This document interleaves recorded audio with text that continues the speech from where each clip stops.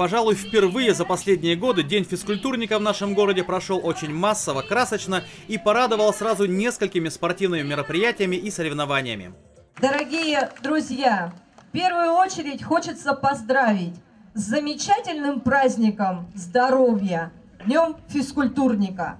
Этот праздник воистину общенародный, потому что с мала до велика каждый из нас в душе все-таки хочет стремиться вперед, хочет побеждать, хочет двигаться и быть здоровым. Я хочу пожелать сегодня всем здоровья, благополучия. Я хочу поблагодарить всех тренеров, руководителей спортивных учреждений, наших уважаемых сотрудников спортивных учреждений.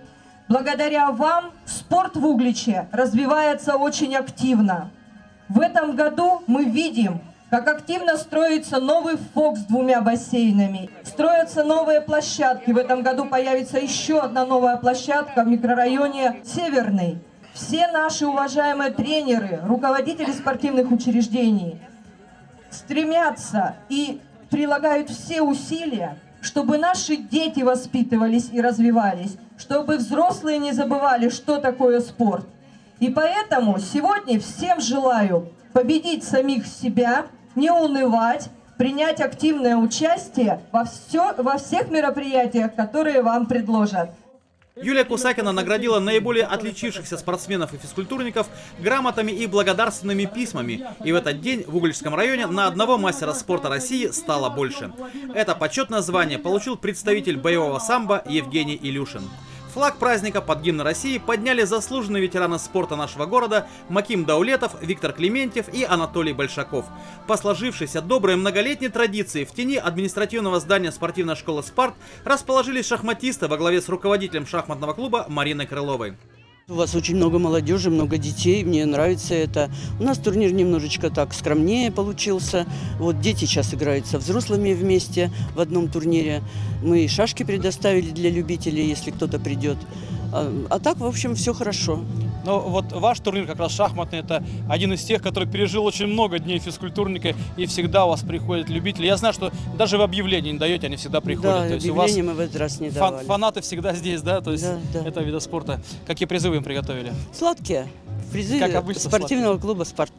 Э, Мария Николаевна, очень многие отмечают, что э, на любой праздник, будь то День города, День молодежи, э, на День физкультурника, на другие спортивные праздники, День здоровья, вы всегда здесь. Вот почему вы в шахматы вот так пропагандируете? И дают ли это свои плоды? Ну вот День города, да, действительно, там очень много было желающих, просто у нас даже не хватило мест.